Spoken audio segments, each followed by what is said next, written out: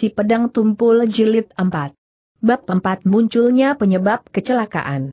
Dari Chiu Kang sampai Ia Tiang, menghabiskan waktu empat hari, tapi sepanjang jalan tidak terjadi sesuatu, tapi dari hari pertama berhenti di kota Tian Kia, So Tian Xia dan Buta Kuang sudah menyamar, mereka berbaur dengan barisan tukang perahu lalu membeli makanan diam-diam di darat, tapi mereka tidak kembali lagi ke perahu, mereka pergi ke Tiang terlebih dulu.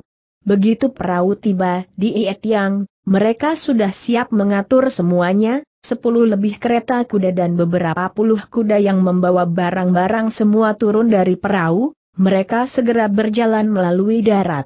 Semua keluarga Tio yang naik kereta kuda, pengawal perusahaan perjalanan menunggang kuda, Kie Tiang Lim, Ciam Giok Beng, dan In Tiong Ho ikut naik kereta Tio Yan Tu. Sepanjang jalan Tio Yan Tu dan Kie Tiang Lim selalu saling pandang dan tersenyum, yang lain merasa aneh, tidak ada yang tahu kalau dua bungkusan besar perhiasannya berada di mana, dan dengan care apa membawanya. Tapi setiap orang tahu tanggung jawab ini sangat berat, mereka tidak ingin bertanya lebih jauh, mereka tidak berani bertanya, juga tidak perlu bertanya, karena kalau bertanya tidak akan ada jawabannya. Yang membuat siapa pun jadi kesal adalah keluarga Tia mempunyai anggota perempuan terlalu banyak, dua istri muda, satu anak perempuan, pembantu dan lain-lain sangat banyak, mereka menempati kereta kuda sampai hampir 7 sampai 8 buah. Membawa begitu banyak perempuan dalam perjalanan sangat merepotkan, hal-hal kecil dan tetek bengek yang terjadi sangat banyak, barisan kereta dan kuda tidak bisa berhenti karena satu sampai dua orang, apalagi keluarga Tio adalah pejabat, mereka tidak bisa sembarangan membuang air besar atau air kecil maka kereta terakhir adalah kereta kosong, khusus untuk dijadikan kamar kecil sampai-sampai kusir keretanya adalah seorang nenek tua.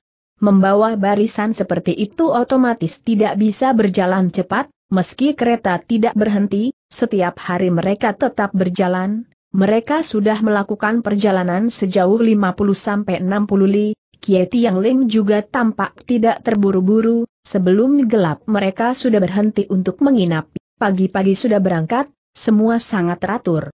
Setiap tempat selalu diatur oleh salah satu dari Kim Leng Suseng, karena sebelumnya mereka sudah sampai terlebih dulu, Sepanjang jalan semuanya diatur dengan teliti.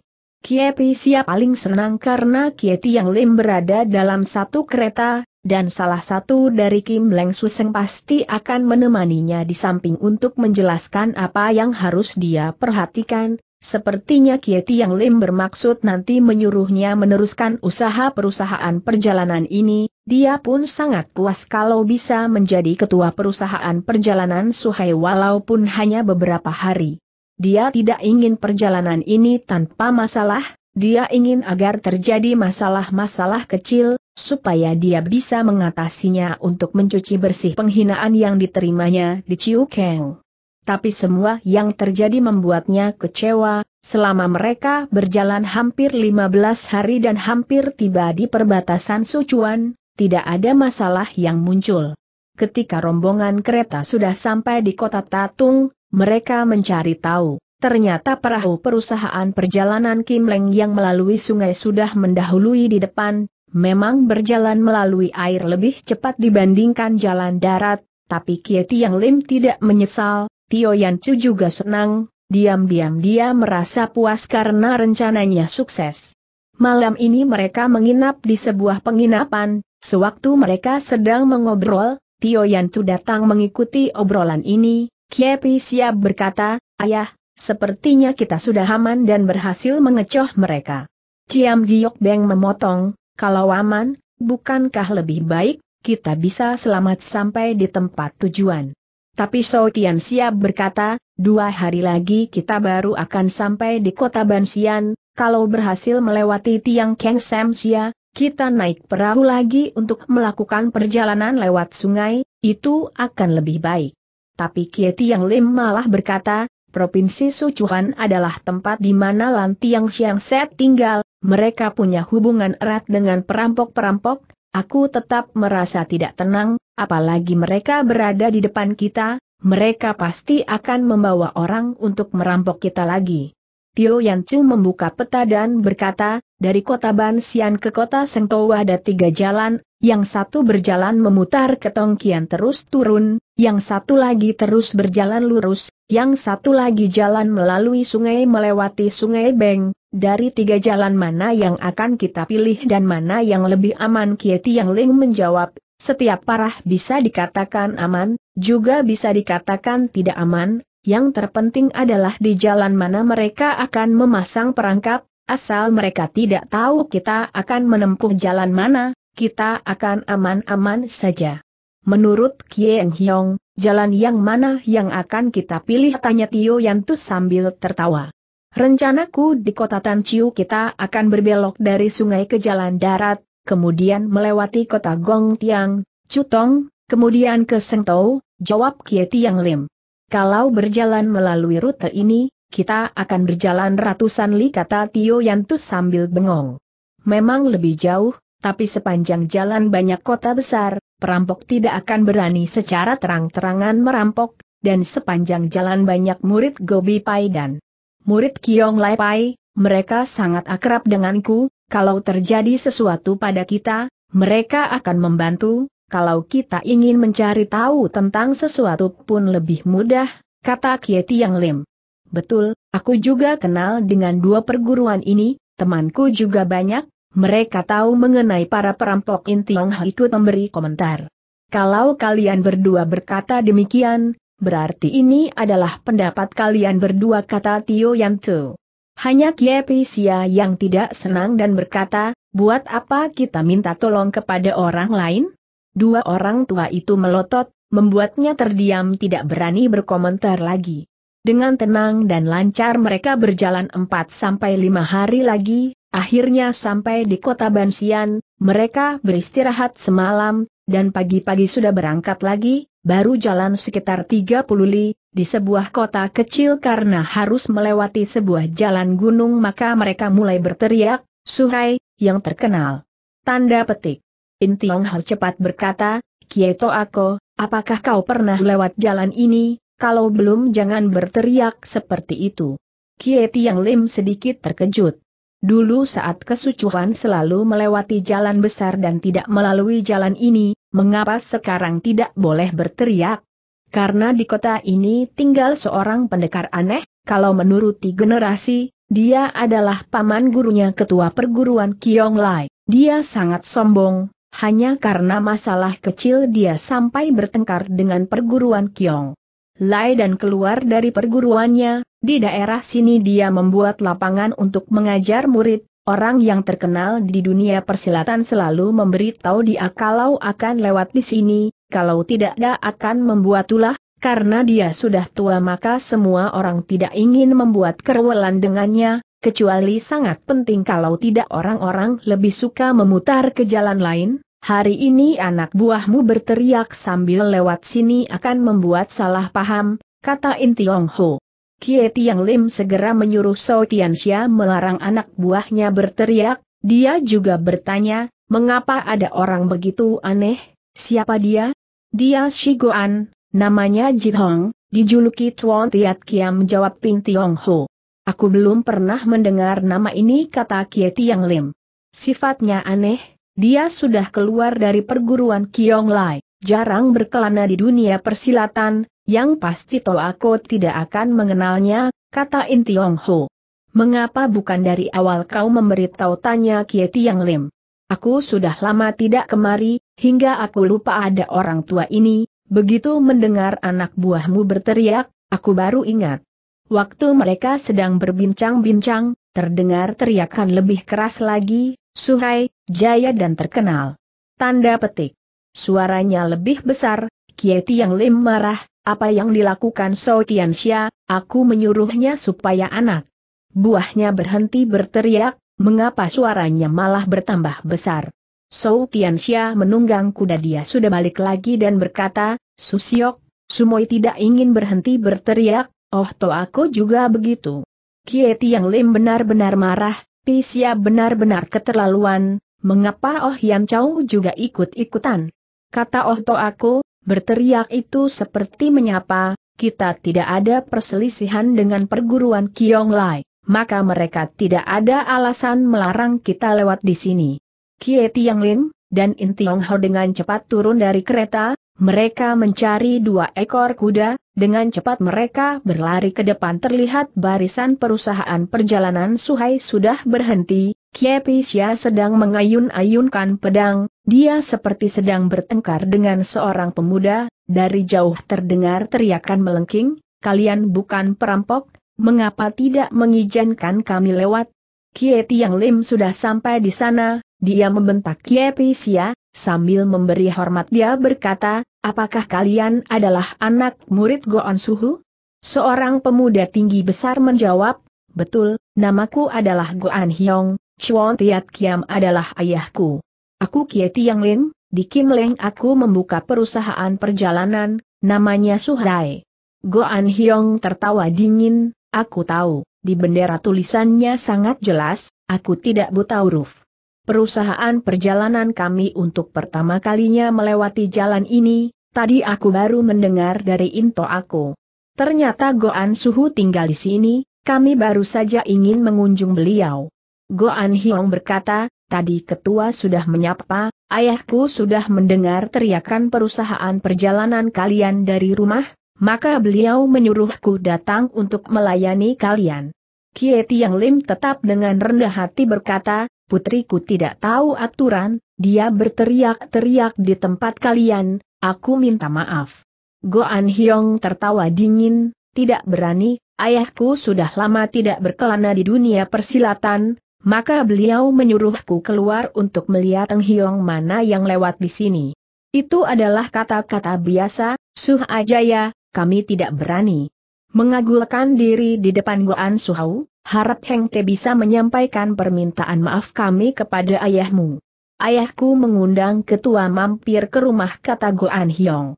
Kami harus mengantarkan barang, belum ada waktu bisa datang ke rumahmu jawab Kie Pisya. Kie Tiang Lim membentak putrinya, kata In Tiong Ho, Toa Kochuan Tiat Kiam sangat ternama, kita harus mengunjungi beliau.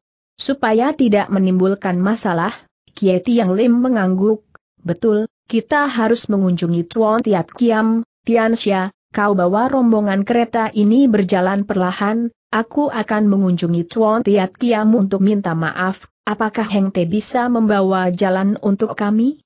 Kami bukan perampok, kami tidak berhak menghadang kalian, tapi bendera perusahaan perjalanan kalian harus diturunkan dulu. Kata Goan Hyong.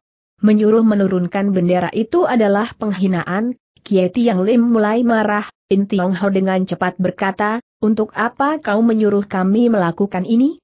Kie Tai Hiap sudah minta maaf kepadamu dan siap datang ke rumahmu untuk minta maaf pada ayahmu. Tanda petik.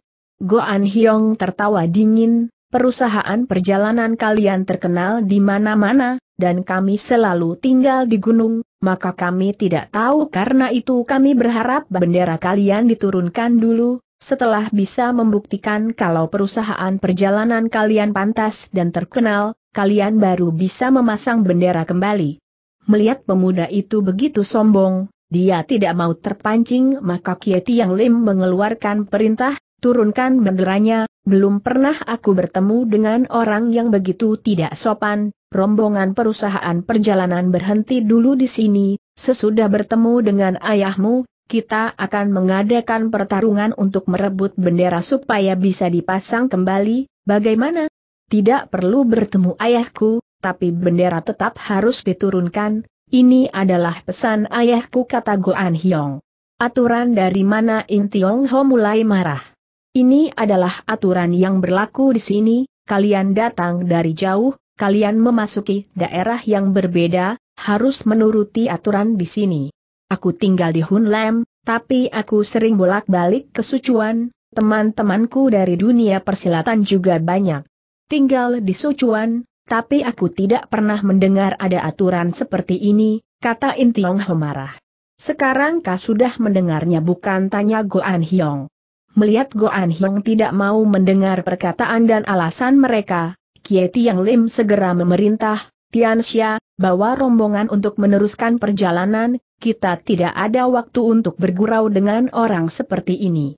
Goan Hyong juga marah, semua boleh pergi, kecuali yang membawa bendera tetap harus tinggal di sini, kalau ketua perusahaan tidak ada waktu, tinggalkan benderanya di sini, sama saja. Sou Tianxia langsung berpesan kepada rombongan, kita berangkat sekarang, dan mulai dengan teriakan Suhai, terkenal, dan jaya. Baru saja orang berteriak, Suhai tiba-tiba sebuah panah yang datang menyerang, dengan cepat dia menghindar ke samping, panah bisa dihindari tapi bendera yang ada di tangannya sudah diambil lawan, Kiepi Sia langsung meloncat, menendang orang yang merebut bendera di tengah udara, benderanya berhasil direbut kembali.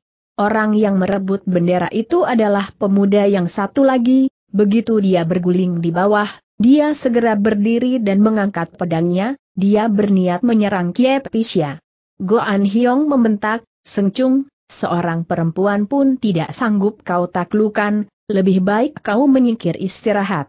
Pemuda yang bernama Sengcung itu berkata, Suheng, dia menyerang di saat aku sedang tidak siap, aku pasti bisa.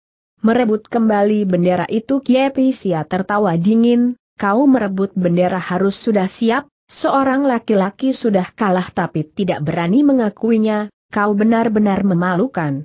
Seng Chung marah, dia membawa pedangnya siap menyerang. Dengan sebelah tangan memegang bendera, sebelah tangan memegang pedang, Kiepi Sia sangat tenang, Seng Chung sudah menyerang 7 sampai 8 jurus, tapi selalu dihindari dengan mudah oleh Kiepi Sia. Wajah Goan Hyong mulai berubah, tiba-tiba dengan dia masuk ke dalam pertarungan, Oh Yan Chow mengira dia akan masuk membantu, pecutnya dikeluarkan, bentaknya, dua lawan satu, apakah kau tidak malu? Tapi dengan telapaknya Goan Hyong pelan melemahkan ayunan pecutnya, sedangkan satu tangan lagi mencengkeram Sengcung, lalu melemparnya, karena Kiepi Xia mengira dia ingin merebut bendera maka dia terus menyerang dengan pedangnya, Goan Hyong sama sekali tidak melayaninya, Begitu Kiepi Sia tahu lawan tidak bermaksud membantu kawannya, dia menarik kembali pedangnya, tapi ujung pedangnya sudah menggores pundak Goan Hyong. Serangan pedang itu tidak hebat, maka hanya menggores bajunya hingga robek dan darah yang keluar hanya sedikit. Goan Hyong melihat Kiepi Sia dengan dingin dan berkata, Terima kasih Nona tidak membunuhku, aku kagum pada Nona, bisa menyerang dan menarik pedang sama-sama cepat. Kiepi Sia tahu Goan Hyong sedang menyindir, tapi dia tetap dengan wajah merah berkata, itu karena kau sendiri yang salah. Betul, ini memang salahku, tapi kau belum tahu apa yang akan kulakukan kau malah menyerangku, kenapa kau begitu tegang? Sesudah Seng Chung terlempar dia merangkak dan berteriak, Suheng, mengapa kau memukulku?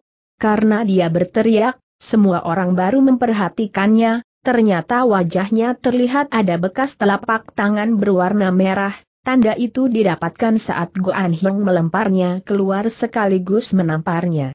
Sekarang Kie Tiang Lim dan In Tiong Ho ikut terkejut, gerakan pemuda itu benar-benar cepat, dalam sekejap dia telah menggunakan telapaknya menggetarkan pecut, melempar orang, serta menampar, tiga gerakan ini dilakukan dalam waktu bersamaan, Kie Tiang Lim yang berpengalaman pun tidak melihat kapan dia menampar sutenya.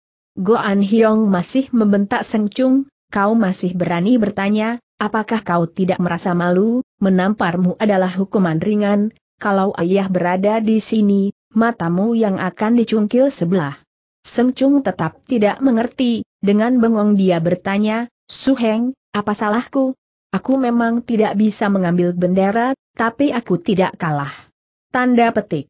Goan Hyong marah dan membentak, kurang ajar, kau masih berani membantah, dengan kemampuan ilmumu yang hanya sedikit ingin mengambil bendera dari tangan orang lain, kau menyerang orang lain tujuh sampai delapan kali, tapi orang lain tidak membalas satu jurus pun, kapan keluarga Goan pernah melakukan hal yang memalukan seperti ini? Seng Chung berkata, itu karena dia tidak berani membalas, kalau tidak dari tadi aku sudah mendapatkan bendera itu, karena dia tidak balas menyerang, maka jurus-jurus yang guru ajarkan tidak bisa kugunakan.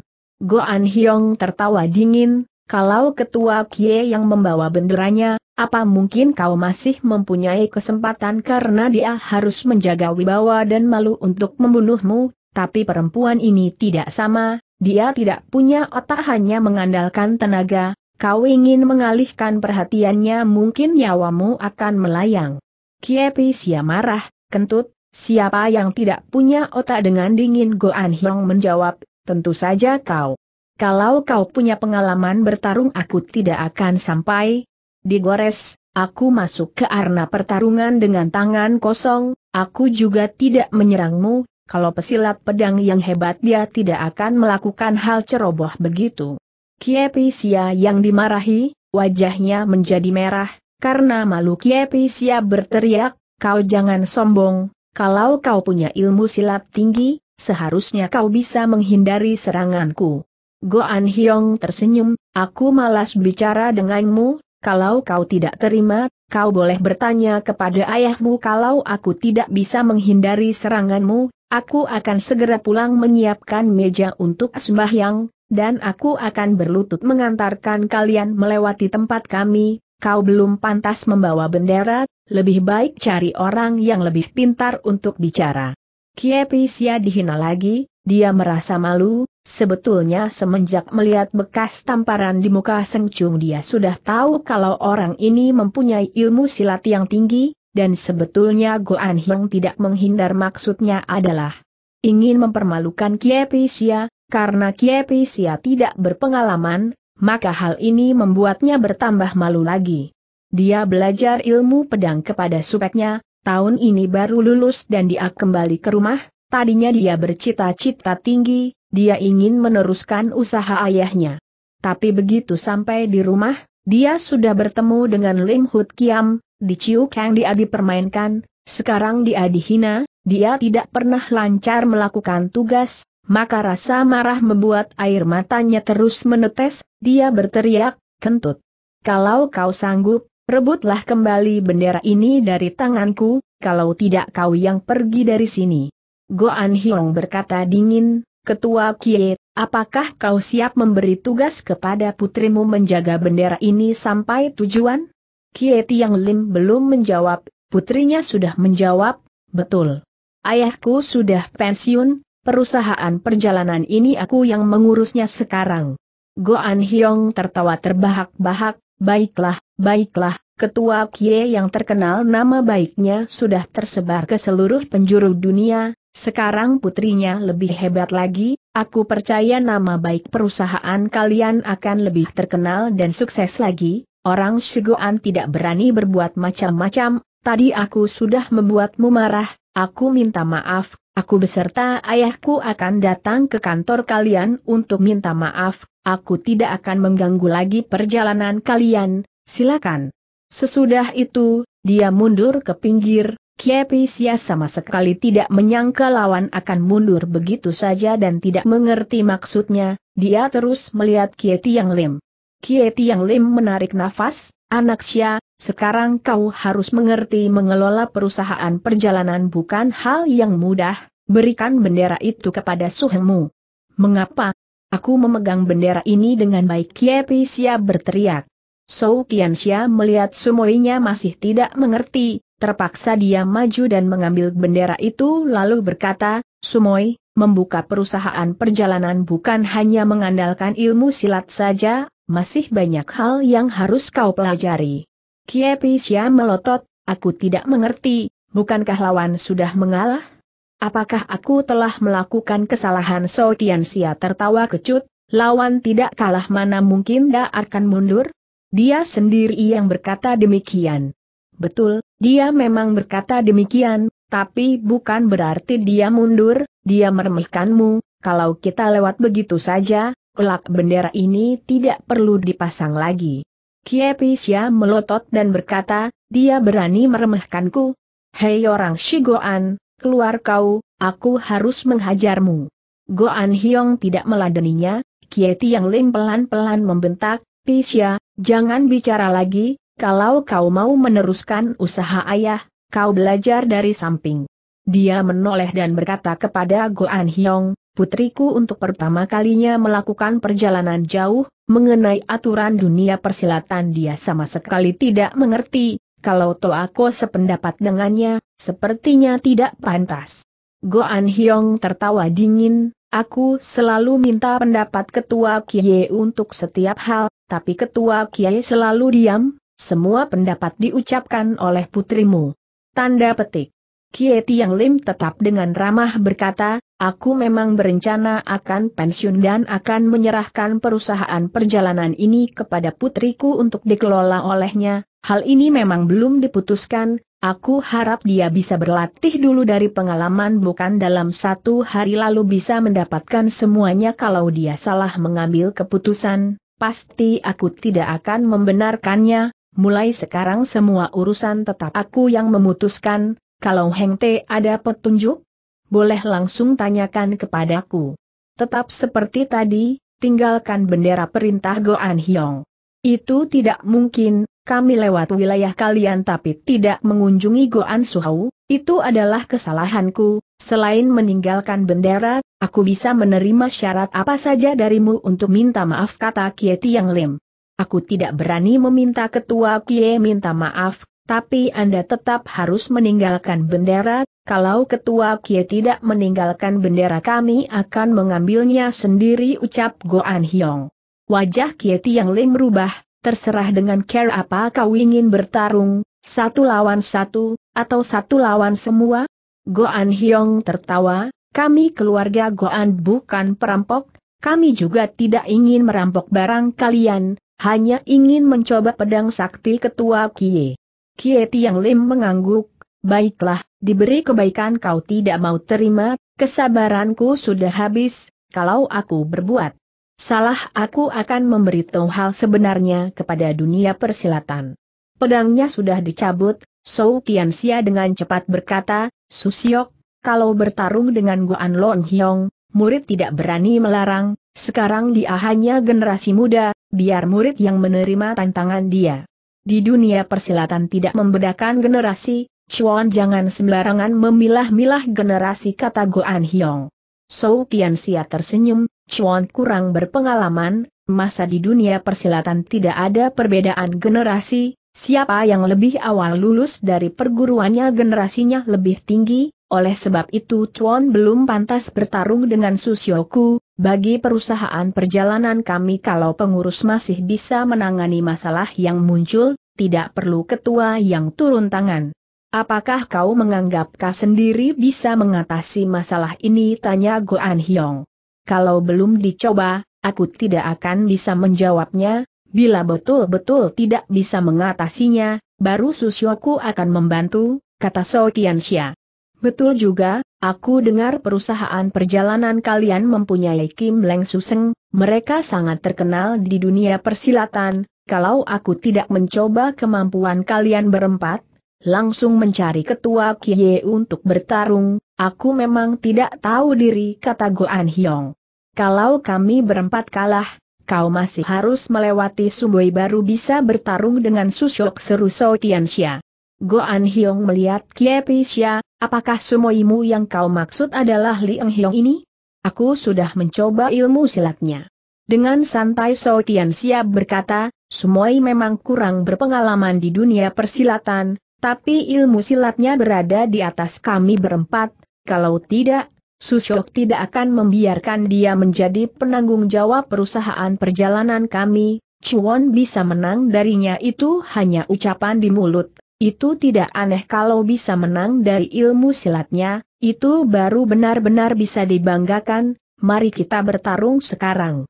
Karena kata-kata So Tianxia tadi, membuat Kie Xia senang, dia berteriak kegirangan, So To aku benar, kalau kau bisa menang dariku, kau baru boleh menyombongkan diri. So Tianxia menggelengkan kepala dan berkata, Sumoy, kalau hari ini kau benar-benar mewakili perusahaan perjalanan kita, jurus yang tadi kau keluarkan kau sudah kalah, orang yang akan memimpin perusahaan perjalanan besar tidak boleh melakukan kesalahan, harap kau rajin belajar, kurangi bicara yang tidak penting, jangan sembarangan menyerang, yang penting harus mempunyai lapang dada luas dan jangan sombong, sebetulnya kata-kata ini harus disampaikan Susyo kepadamu. Susyo ingin kau belajar dari kegagalan untuk mendapat pengalaman, tapi aku adalah suhengmu, aku tidak mau kau dihina, maka aku menasehatimu. Tanda petik.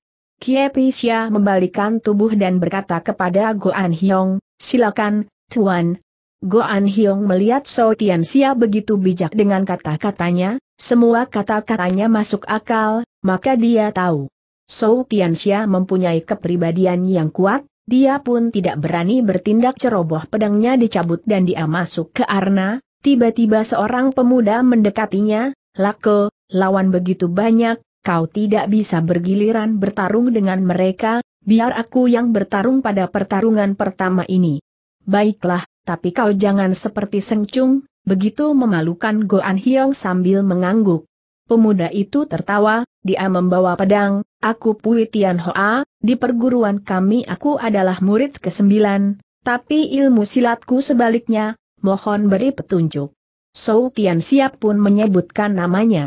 Pui Tian Hoa berkata, kau adalah Kim Leng Kiam Seng, aku baru belajar ilmu pedang dari guru, maka aku tidak berani mengatakan bisa menang darimu, tapi tangan kosongku juga tidak akan tinggal diam kalau kebetulan tangan kosongku mengenai Tuan, aku minta maaf. Mengenai ilmu telapak, aku sangat gersang, tapi aku juga memberitahumu, aku akan menganggap tangan kosongmu itu adalah sebuah senjata kata So Tianxia. Itu sudah pasti, Chuan bisa menepisku, lebih baik menepis tangan kosong ini hingga putus, setelah putus aku akan belajar pedang dengan sungguh-sungguh, kalau tidak aku selalu mengandalkan tangan kosong ini berbuat licik, setiap hari guru selalu marah, aku tidak benar-benar belajar ilmu silat kelak susah jadi orang sukses, silakan. Mereka berdua masing-masing mengeluarkan pedang dan mulai berhitung, jurus pedang Puitian Hoa sangat aneh, jurusnya lebih bagus dibandingkan Seng Chung, Tadi dia mengatakan ilmu pedangnya adalah sebaliknya ternyata tidak.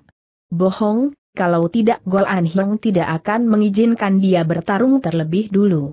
Kedua belah pihak sangat memperhatikan pertarungan ini So Tian siap bertahan dengan ketat, menyerang pun tidak sepenuh tenaga, karena sebelah tangan Pui Tian Hoa selalu bergoyang-goyang, seperti sedang mencari kesempatan menyerang, dan jurus pedangnya sangat serasi dengan sebelah tangannya, menyerang cepat dan dengan jarak dekat pula.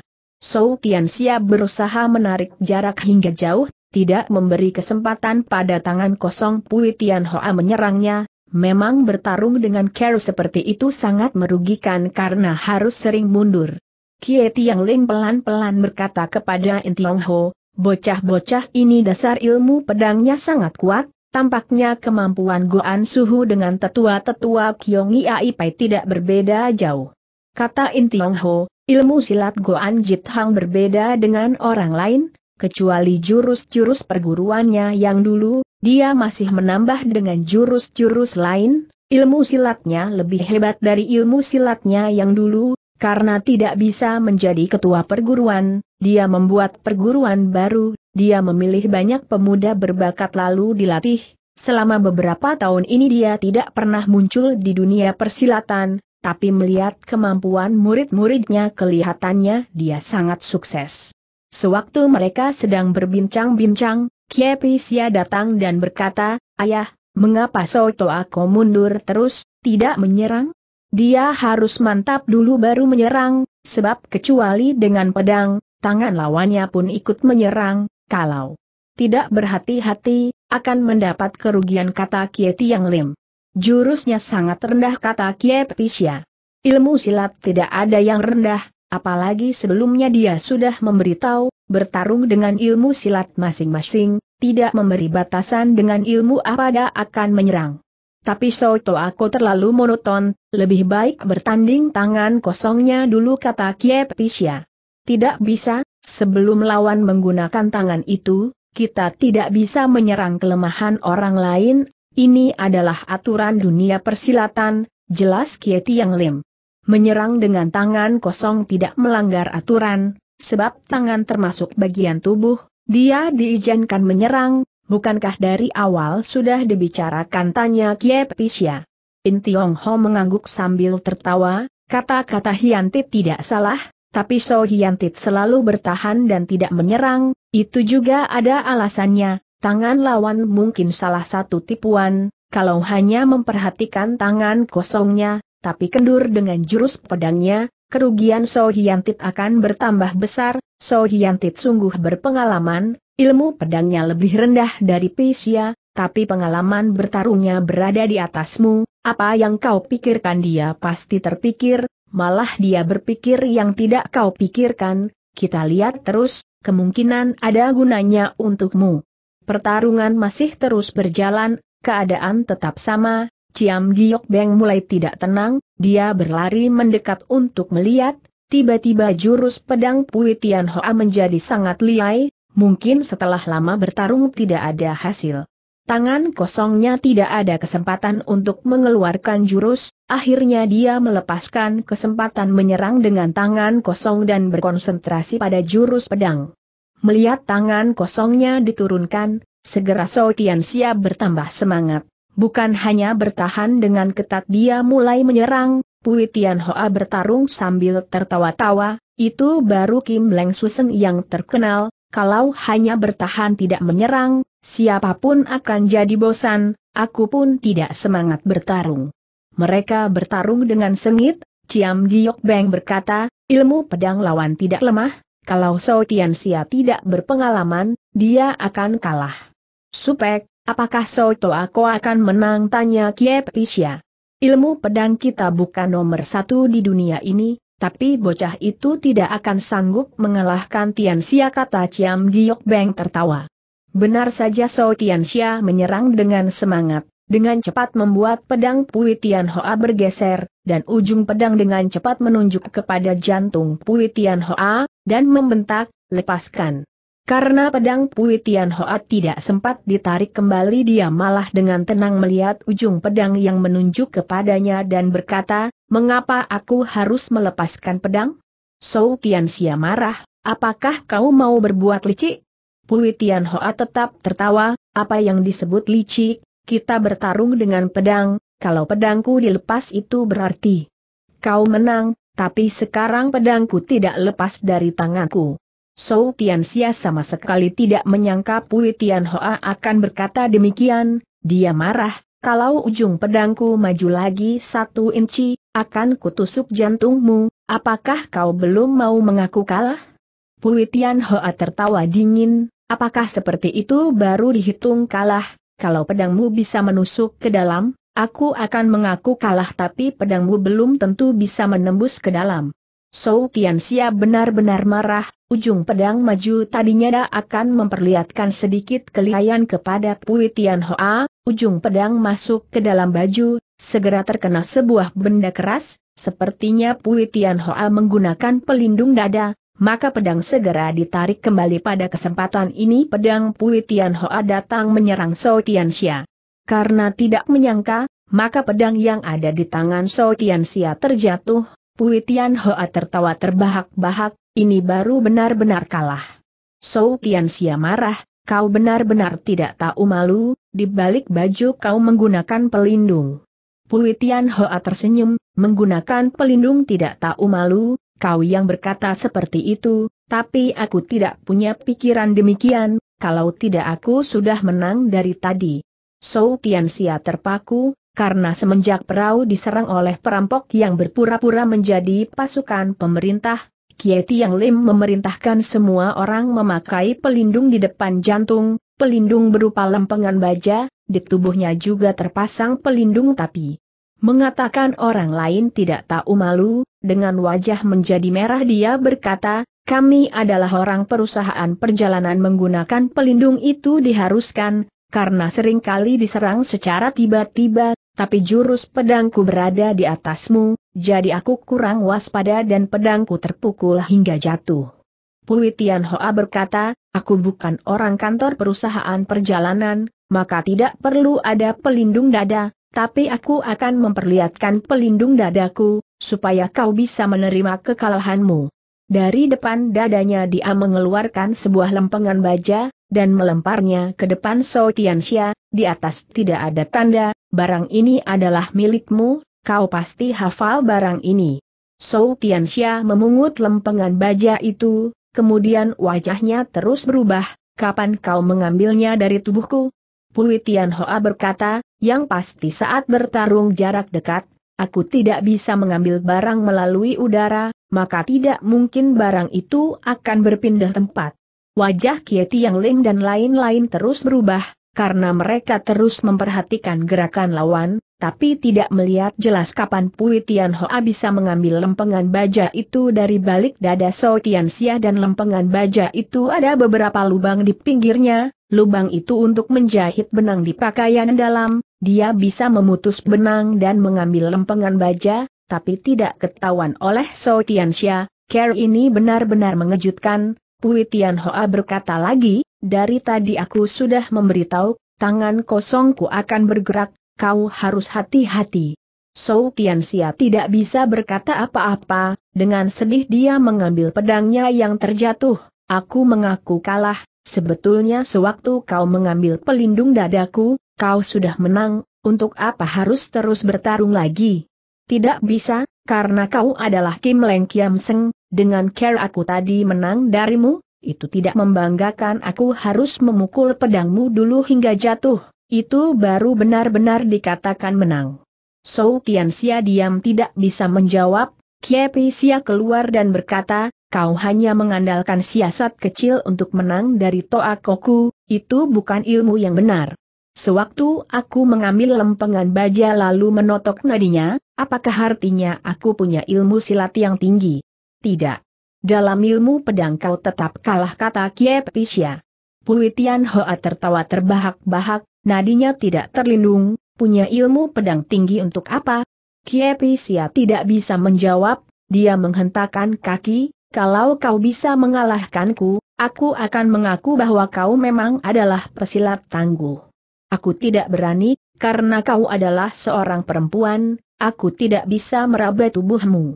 Tapi Kiepi Sia sudah menyerangnya, Pui Tian Hoa menghadang dengan pedang dan berkata, apakah kau mengerti aturan? Kiepi Sia tetap menyerang, terpaksa Pui Tian Hoa dengan pedang menghadangnya dan berkata, kalau kau tidak mau dengar, maafkan aku kalau aku melakukan sesuatu. Kata Kiepi Sia, mau dengan pedang atau dengan tanganmu asalkan bisa memegang bajuku, aku akan tunduk. Baiklah, aku akan mengajarmu, gadis yang tidak tahu aturan.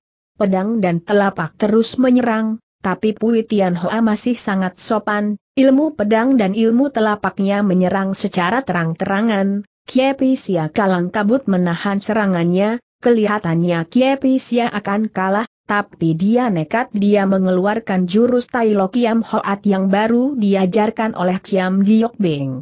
Kiam Giok Beng terus berteriak, tidak diizinkan menggunakan jurus itu, sebab kau belum betul-betul menguasainya, kau tidak akan bisa mengendalikannya. Tapi teriakan Chiam Giok Beng sudah terlambat, Tai Lo Kiam Hoat yang hebat membuat Pui Tian Hoat tidak bisa bertahan, pertama pedang tergetar hingga terbang, kemudian tampak cahaya hijau berkilau, darah sudah muncrat, Pui Tian Hoa memang bisa menghindar dengan cepat, tapi pundaknya tergores oleh pedang Kiep Pisya. Ciam Giok Beng marah, mengapa anak ini tidak pernah mau mendengar kata-kata orang tua? Melihat saat Ga menyerang berhasil melukai lawan, Kiepisya merasa tidak enak, pelan-pelan dia berkata, sesudah mengeluarkan jurus, aku tidak sanggup menghentikannya. Puitian Hoa berdiri dari bawah, dia tertawa dingin, ilmu pedang yang dahsyat. Aku tidak ingin melukaimu, tapi kau memang keterlaluan. Puitian Hoa melihat Kiepisya dan berkata, kalau tahu kau begitu kejam, tentu aku akan menyobek sebelah telingamu, apakah kau kira kau bisa menang? Kemudian dia membuka telapaknya dan melempar sebuah anting-anting, dengan cepat Kiepisya meraba telinganya, dia terpaku. Ternyata sebuah anting emas dan mutiara yang terpasang di telinganya sudah berada di tangan Puitian Hoa, kalau memang Puitian Hoa ingin merobek telinganya, pasti bisa dia lakukan, tapi dia tidak melakukannya sedangkan pedang Kiepisia sudah melukainya, hal ini membuat Kiepisia serba salah. Setelah lama Kieti yang Lim baru mencabut bendera perusahaan perjalanan dari bawah, dia memberikannya kepada Goan Hyong, kalian berilmu tinggi, aku sangat kagum pada kalian, Heng Te boleh membawa bendera ini, tapi aku tetap akan menemui ayahmu. Goan Hyong tertawa terbahak-bahak, tidak perlu, aku tidak akan bisa menang dari putrimu, aku malu menahan bendera ini, silakan, kalian boleh pergi. Kie Tiang Lim merasa aneh, dia memberi hormat lagi, terima kasih kalian sudah membiarkan kami lewat, tapi aku tetap ingin bertemu dengan ayahmu untuk minta maaf.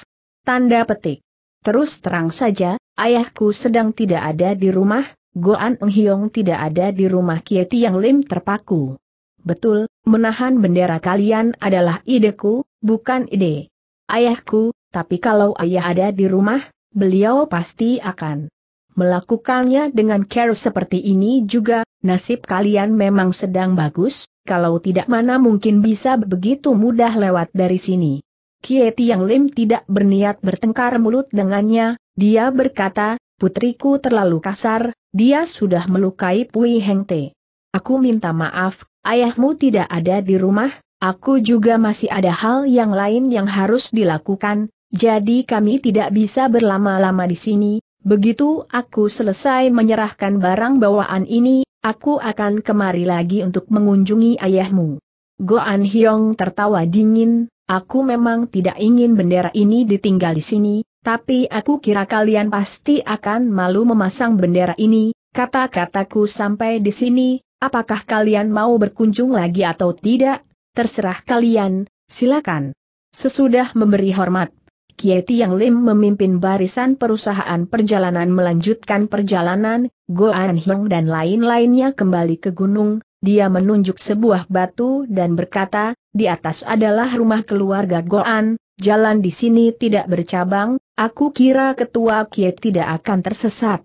Kieti yang Lim yang sudah berada di atas kuda berkata, Heng Te tenang saja, kalau orang Shikie tidak kemari, bendera Suhe tidak akan muncul di dunia persilatan lagi, sesudah berjalan satu li lebih, Kiepi Sia tetap menundukkan kepala karena dia sadar telah berbuat kesalahan, So Tian Sia berkata, Sumoi tidak melakukan kesalahan, bila senjata beradu pasti ada yang terluka, apalagi dia sengaja mencari gara-gara, kalau tidak dibereskan kita tidak akan bisa melewati gunung ini.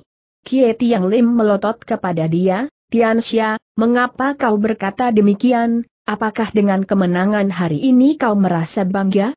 Dia hanya mengambil sebelah anting sumoy, walaupun dia bisa menarik sebelah telinga sumoy, tapi kita berhasil membacoknya, maka tidak bisa mengatakan kalau kita kalah kata So Xia. Kata Kie Tiang Lim, Pisia membacoknya, semua orang melihatnya, Pisia kehilangan sebelah anting tidak ada orang yang melihatnya, maka biarpun kalah atau menang, kita sudah dibuat malu. Lalu kita harus bagaimana, apakah betul bendera kita harus kita tinggalkan di sana, kalau begitu itu akan lebih memalukan lagi. Kieti yang Lim menarik nafas, tangannya sangat aneh, tapi ilmu pedangnya tidak begitu sulit dihadapi, kalau aku dan Toako menyerang bersama, mungkin bisa menang darinya, juga bisa mengurangi banyak kesulitan, sekarang karena dirimu, ingin menyerang pun tidak ada kesempatan. Nanti kalau pulang, kita cari ayahnya untuk membuat perhitungan kata Kiepisya. Kita membuka perusahaan perjalanan untuk mengantarkan barang orang lain, bukan bertengkar dengan orang lain, kalau tadi kita bisa membereskan masalah, kelak kita tidak perlu kemari lagi. Kata So Tianxia, walaupun tadi paman bisa menang darinya, untung ayahnya tidak ada di rumah, kelak kita tetap akan repot. Tianxia, kau sudah lama berkelana di dunia persilatan, tapi percuma saja, Goan Jit Hang memang ada di rumah, hanya saja dia sengaja tidak mau muncul jelas Kie Tiang Lim. Mengapa dia tidak mau muncul? Sebab ilmu pedang Pisia yang bernama Tai Lo Kiam Hoat membuat mereka terkejut, Sebelum dia yakin menang dari kita, dia tidak akan muncul ke permukaan. Apakah saat kita pulang nanti, apa dia sanggup melawan kita? Kalau tidak bisa, dia akan terus bersembunyi dan kita tidak bisa tinggal di rumahnya untuk terus menunggu, kalau masalah belum selesai, bendera Suhe tidak akan bisa kita keluarkan, kali ini dia sudah menang dari kita. So Tianxia terpaku. Kie Tiang Lim berkata, dia tahu aku tidak bisa Tai Kiam Hoat, Hari ini dia hanya diam karena ada Suheng di sini, tapi Suheng tidak bisa selamanya bersama kita, begitu Suheng pergi, dia akan datang, aku tidak yakin bisa menang darinya, semua masalah muncul gara-gara Pisya. Ciam Giok Beng menarik nafas, aku tidak menyangka dunia persilatan ternyata begitu berliku-liku, demi apa dia melakukan semua ini? Karena namaku terlalu besar di dunia persilatan, Pasti ada yang merasa iri, yang menyimpan dendam ingin membalas dendam, yang tidak ada dendam ingin membuatku jatuh. Perusahaan perjalanan kita dibangun karena perintah guru, semua orang tahu tentang hal ini, tapi kalau bendera Suhe tidak boleh dikibarkan lagi walaupun mengandalkan tenaga Suheng, kalau kita membangun kembali, tetap saja nama kita akan tercemar, kata Kieti Yang Lim. Tai Lo Kiam Hoat yang dikuasai Pisya aku yang mengajarinya, sekarang dia membuat masalah, aku harus bertanggung jawab, nanti kalau pulang aku akan menemanimu menemui Goan Jit Hong, kalau bisa. Membereskan masalah, itu paling bagus, kalau tidak, kita akan meninggalkan pesan kita tunggu dia selama setengah tahun di Kim Leng, bila dalam waktu setengah tahun dia tidak datang, baru kita akan mulai membangun kembali usaha kita, Waktu itu dunia persilatan tidak akan ragu lagi kepada kita papar Ciam Giok Beng. Itu ide yang bagus, tapi Suheng harus tinggal di Kim Leng selama setengah tahun kata Kieti Yang Lim. Tidak masalah bagiku, Pak Hai juga bukan rumahku itu adalah rumah peninggalan guru, kalau aku tidak pulang, masih ada dua anak kecil di sana, mereka bisa mengurus rumah, setelah melihat kalian bertarung, Aku merasa dasar ilmu pedang Tianxia tidak kuat, aku akan mencari waktu untuk mengajarinya kata Chiam Giok Beng. Dengan senang Kieti Yang Lim berkata, Suheng bisa tinggal di Kim Leng, aku benar-benar merasa senang, bukan hanya Tianxia yang bisa bertambah ilmunya, aku juga ada kesempatan untuk belajar dari awal. Chiam Giok Beng tertawa, katanya, Sute, kau sudah ada umur sudah mempunyai nama, kita berkumpul untuk berbincang-bincang saja sudah cukup, tidak perlu mencari yang baru lagi, yang penting generasi muda, ilmu silat ke generasi muda kita harus diperkuat, kalau tidak nama guru akan sulit dipertahankan. Dan aku merasa murid kita terlalu sedikit. Begitu kita meninggal, hanya tinggal Pisya dan Tianxia, kalau terjadi sesuatu, tidak ada yang bisa membantu, harus bertarung sendiri. Aku juga punya pikiran seperti itu hanya belum disetujui oleh Suheng, maka aku tidak berani sembarangan menerima murid, kata Kieti yang Lim memberi alasan. Dulu aku tidak pernah berpikir tentang hal ini, hari ini sesudah melihat murid-murid Goan Jit Hong, aku baru terpikir, kelak kita bisa memilih beberapa pemuda yang kelakuannya baik dan melatih mereka. Kata Chiam Giok Beng. In Tiong Ho berkata, kalau kalian bermaksud menerima murid baru, aku kira teman-teman dunia persilatan akan berebut mengantarkan putra mereka untuk dijadikan murid kalian, aku yang akan mendaftar pertama. Kieti yang Lim berkata, Lote jangan bergurau, keempat putramu sudah sangat terkenal di dunia persilatan. Tanda petik. Bukan bergurau, umur keempat putraku sudah berada di atas 20 tahun, mereka ikut ayahnya yang tidak berguna, itu sangat menghambat perkembangan mereka, walaupun pindah perguruan juga belum tentu bisa mendapatkan ilmu yang bagus, sebab mereka tidak berbakat, tapi aku mempunyai dua keponakan sedarah, umur mereka baru 15-16 tahun, aku kira mereka masih bisa dibentuk, apalagi mereka sangat tertarik belajar pedang, karena aku tidak hafal dengan jurus pedang, maka hanya mengajarkan gerakan dasar kepada mereka, kalau kalian berdua mengizinkan dan mau menerima mereka menjadi murid, aku akan merasa sangat berterima kasih. Tanda petik. Kata In Tiong Ho. Kalau In Tai Hiap yang mengenalkan, pasti tidak akan menjadi masalah, karena kita sudah berada di wilayah Sucuan, maka kami berharap Pintai Hiap bisa mengantar mereka kemari, kami juga minta bila ada orang yang tepat, Pintai Hiap bisa mengantar mereka kemari juga. Tanda petik. Aku pasti akan mencarikan yang terbaik, kelihatannya Ciam Tai Hiap siap melebarkan sayap perguruan kalian. Ciam Giok Beng menarik nafas, peristiwa tadi membuatku banyak berpikir, kecuali putra Goan Jit Hang begitu gagah dan berilmu tinggi, beberapa pemuda tadi adalah orang yang sangat berbakat, sepuluh tahun kemudian orang-orang itu pasti akan berjaya, mungkin waktu itu dunia persilatan akan dikuasai oleh keluarga Goan.